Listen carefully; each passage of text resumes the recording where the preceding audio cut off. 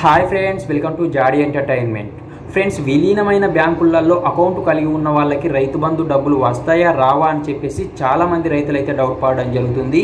So మరి విలీనమైన బ్యాంకులలో account కలిగి ఉన్న రైతులకు రైతు బంధు డబ్బులు వస్తాయా రావా రైతు బంధు డబ్బులు రావాలి అంటే ఏం చేయాలి అనేది ఈ వీడియో ద్వారా మనం తెలుసుకుందాం.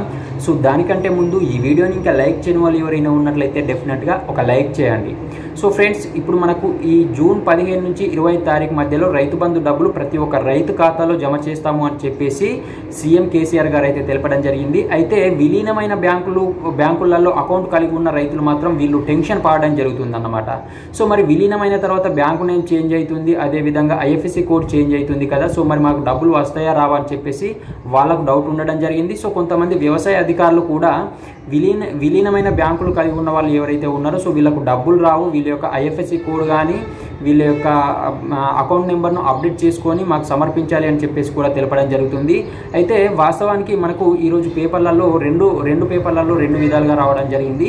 ఈనాడు పేపర్లో చూసుకున్నట్లయితే మనకు విలీనమైన వాళ్ళు వాళ్ళ యొక్క ఐఎఫ్ఎస్సి కోడ్ అకౌంట్ నెంబరు వాళ్ళ యొక్క అకౌంట్ యొక్క జిరాక్స్ను వ్యవసాయ అధికారులకు సమర్పించాలని ఈనాడు పేపర్లో రావడం జరిగింది.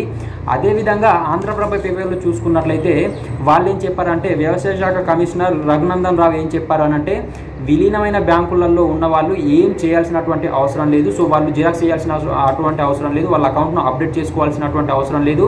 ఐఎఫ్ఎస్సి కోడ్ కూడా కొత్తది తీయాల్సినటువంటి అవసరం లేదు. ఎట్లాంటి అవసరం లేదు. డబ్బులు మాత్రం ఖచ్చితంగా వస్తాయి. అట్లాంటి అట్లాంటిది ఏదైనా ఉన్నట్లయితే మేమే దాన్ని అంతా సర్ది చేసుకుంటాము. మేమే మీకు చెప్తాము అని చెప్పేసి వ్యవసాయ శాఖ కమిషనర్ రఘునందన్ రావు చెప్పినట్టుగా ఆంధ్రప్రభ పేపర్లో రావడం జరిగింది. సో ఏది ఏమైనప్పటికీ మనకు ఇందులో నష్టపోయేదైతే ఏం లేదు కాబట్టి మీరు మీ యొక్క అకౌంట్ అప్డేట్ చేసుకొని మీ యొక్క అప్డేట్ అప్డేట్ అయినటువంటి అకౌంట్ ఏదైతే ఉంటుందో సో దాన్ని మీరు పది తారీఖు లోపు వ్యవసాయ శాఖ అధికారులకు అందచేసినట్లయితే మీకు డబ్బులు ఖచ్చితంగా వస్తాయన్నమాట.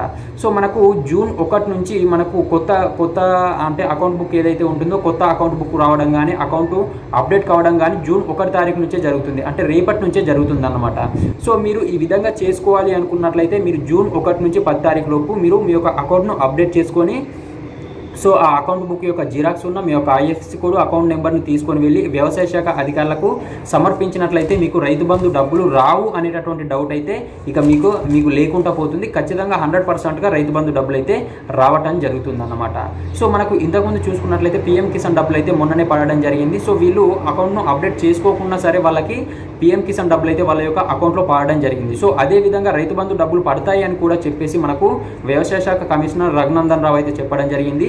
సో మీరు ఈ డౌట్ ఉండకుండా ఉండాలి అని అంటే మీరు ఖచ్చితంగా జూన్ ఒకటి తర్వాత ఒకటి నుంచి పది తారీఖు మధ్యలో మీ యొక్క అకౌంట్ను అప్డేట్ చేసుకొని అకౌంట్ బుక్ యొక్క జిరాక్స్ అదేవిధంగా అకౌంట్ నెంబర్ ఐఎఫ్సి కోడ్ తీసుకొని వెళ్ళి మీరు ఆ వ్యవసాయ శాఖ అధికారులకు ఇచ్చినట్లయితే మీకు ఎట్లాంటి టెన్షన్ లేకుండా డబ్బులు వస్తాయి అనేటటువంటి భరోసాగా మీరు ఉండడం జరుగుతుంది. ఖచ్చితంగా డబ్బులు కూడా రావడం జరుగుతుంది.